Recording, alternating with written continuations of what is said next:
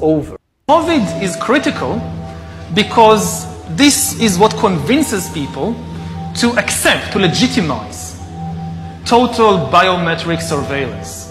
If we want to stop this epidemic, we need not just to monitor people, we need to monitor what's happening under their skin. What we have seen so far, it's corporations and governments collecting data about where we go, who we meet, what movies we watch. The next phase is the surveillance going under our skin. We're now seeing mass surveillance systems established even in democratic countries, which previously rejected them. And we also see a change in the nature of surveillance. Previously, surveillance was mainly above the skin. Now it's going under the skin. Governments want to know not just where we go or who we meet, above all, they want to know what is happening under our skin. What's our body temperature? What's our blood pressure? What, what is our medical condition? Now humans are developing even bigger powers than ever before. We are really acquiring divine powers of creation and destruction. We are really upgrading humans into gods. We are acquiring, for instance, the, the power to re-engineer life. I know that in recent years we saw populist politicians undermining deliberately the trust that people have in important institutions like universities, like respectable media outlets. These populist politicians told people that, say, scientists are this small elite disconnected from the real people. I mean, all this story about Jesus rising from the dead and being the Son of God, this is fake news. Humans are now hackable animals you know, the, the whole idea that humans have, you know, this, they, they have this soul or spirit and they have free will and nobody knows what's happening inside me. So whatever I choose, whether in the election or whether in the supermarket, this is my free will, that's over. COVID is critical. Shalom. Kahalaimla Yahweh Bahashim Yahweh Shai Bahashim Rakakadash. All praises be to the Most High, Yahweh, in the name of His Son and our Lord and Savior, Yahweh Shai. Much respect and honor to the brothers that are doing the work in truth and sincerity, risking their lives and freedom to do so, pushing this gospel throughout the four corners of the earth. Salutations to the hopeful elect that are scattered abroad, and double honor and respect to the elders and the apostles of Great Millstone. Coming back at you on another lesson entitled, And Then Shall That Wicked Be Revealed. So we're going to go into it. We've been talking about that man of sin, and it's talking about the biblical Edomites. Their forefather is Esau.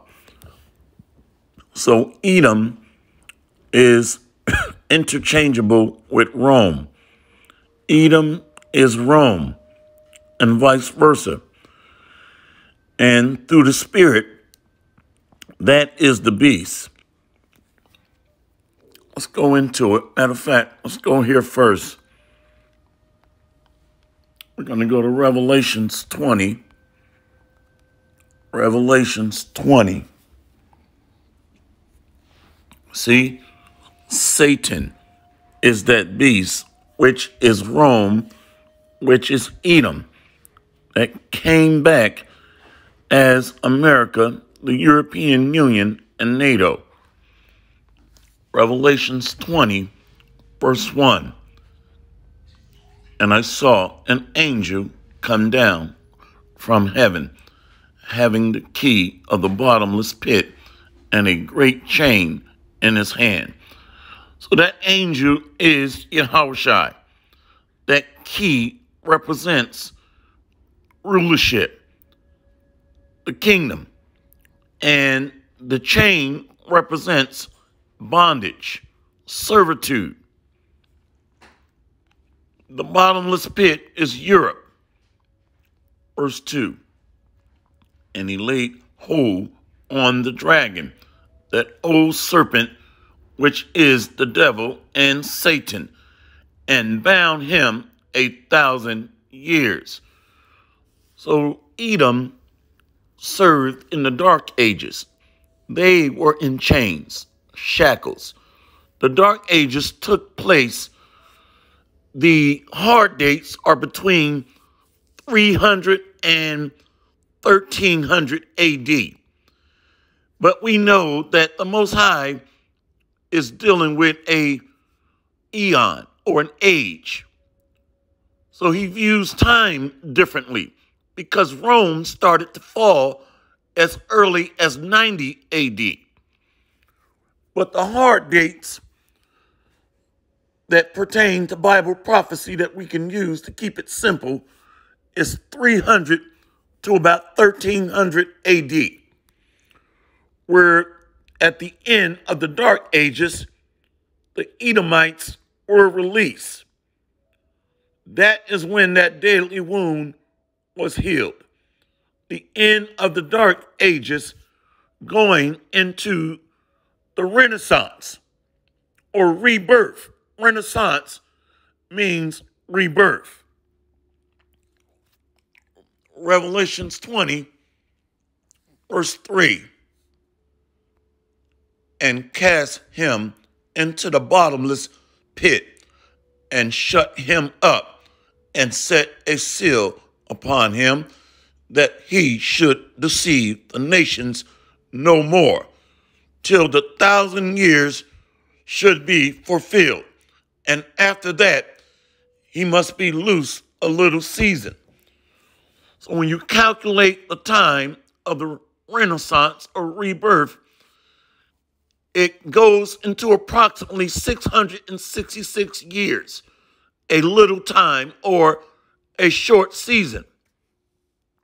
Going into the Renaissance unto the present. That's the time we're in, the end of an age. So we're in the eon or the age of Edom, their rulership. So they were released from their thousand year bondage under the Israelites during the Dark Ages when the Israelites ruled. Now, it's called the Dark Ages mainly because there's a historical vacuum where many of the documents were hid, proving the Israelites ruled Europe for a thousand years. Now, some speculate that it's called the Dark Ages because dark people ruled, which is really that's a that's a myth or a telltale what you call a um not fairy tale but a I'm trying to think of the term. It's called a, a fable. That's the word i'm looking for. That's a fable but the truth of the matter is that period of time is hidden. The details or the historical accounts and the records of the Israelites ruling. They claim they can't find the records, which is absolutely bogus.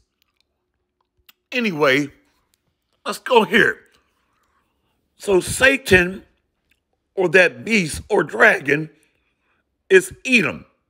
They're in power right now. And they're performing signs and wonders after the workings of Satan through their technology and are deceiving the world again, which that deception started during the Renaissance through a term called iconoclasm, where they would whitewash the original dark images of the Israelites ruling kings, priests, prophets, judges, governors, rulers. Let's go here. Second Thessalonians chapter 2. Let's go to verse 1. Now we beseech you, brethren, by the coming of our Lord Yahushua Hamashiach, and by our gathering together unto him. We're being gathered through the word, the spirit of Bible prophecy. And this is not about what you look like. if you're attracted to this word, if you're being healed or changed by the word, more than likely you're amongst the hopeful elect. Verse 2. 2 Thessalonians 2, verse 2.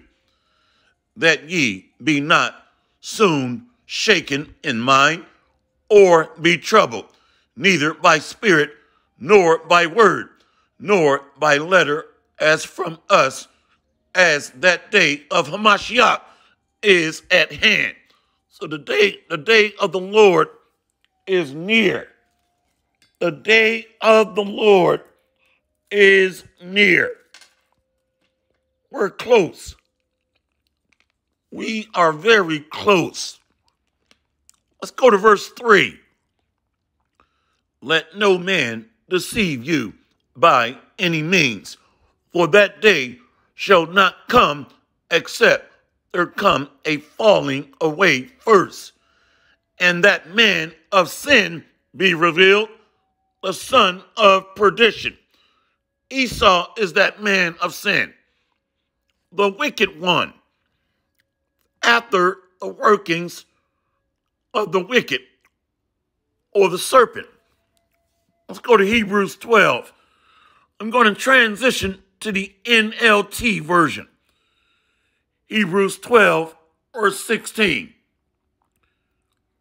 Make sure that no one is immoral or godless like Esau, who traded his birthright as the firstborn son for a single meal. Ye know that afterward, when he wanted his father's blessing, he was rejected. It was too late for repentance, even though he begged with bitter tears. So he cannot repent. He was apportioned the lot of the wicked, the adversary, the antagonist in this movie. Jacob, or the sons of Jacob, the Israelites, are the protagonists in the Lord's movie. So this is his lot. Let's go to, uh, that's the son of perdition, Esau Edom. Verse 4 Who opposeth and exalteth himself above all that is called God or that is worship, so that he, as the Most High, sitteth in the temple of the Most High, showing himself that he is the Most High. So he wants control over the temple of the Lord's people, our mind, our mind, which is the central nervous control system of our bodies. He wants our mind through technology. Or so he wants to be like the Most High. Let's read that again. Verse 4 Who opposeth and exalteth himself above all that is called God or that is worship, so that he, as the Most High, sitteth in the temple of the Most High, showing himself that he is the Most High. Remember ye not that when I was yet with you, I told you these things.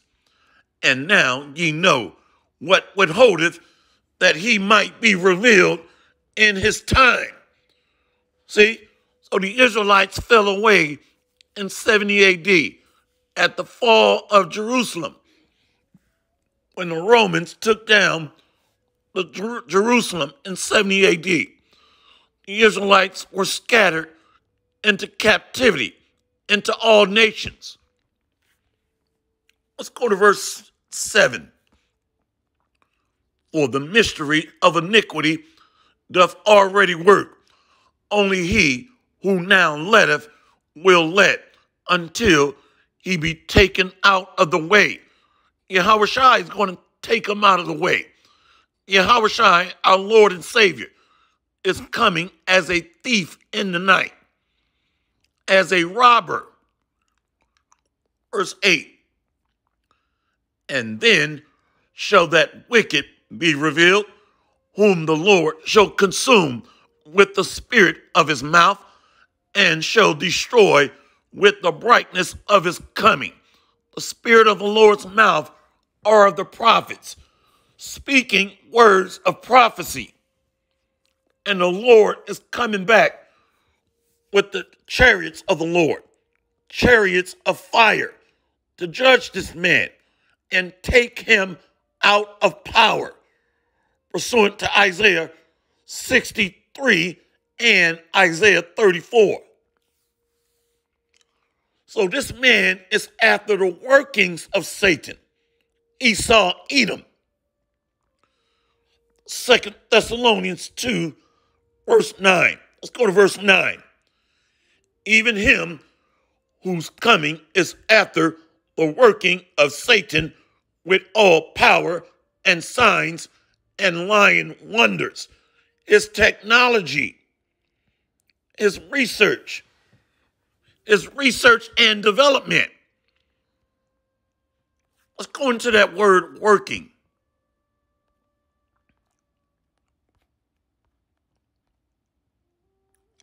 Comes from the Greek.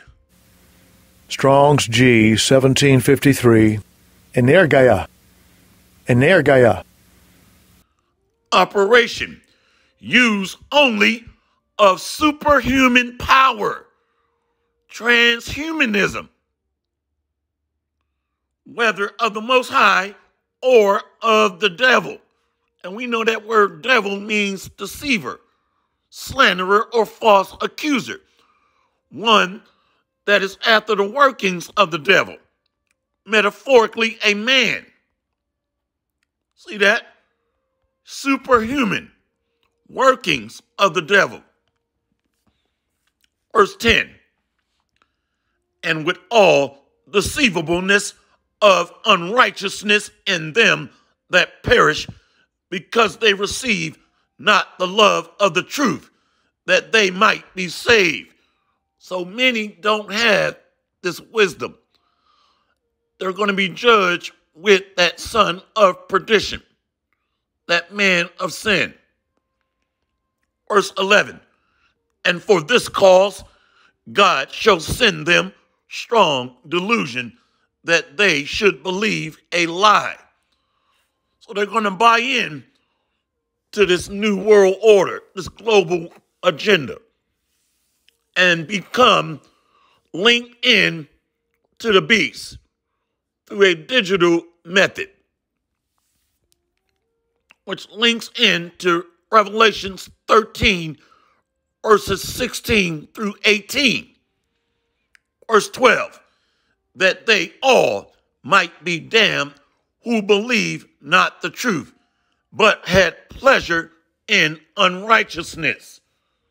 That's the multitude, the mass. Mass means death. But the Most High is going to preserve an elect of Israel to inherit the kingdom of glory, rulership, immortality, and dominion. Hopefully, this lesson has been edifying. All praises to Yahweh Ba'Hashem, Yahweh Shai, Ba'Hashem, or. Barakathum. See you on the next lesson, Lord willing. Kwam Yasharala and Abad Babao. We got next, Lord willing. Shalom.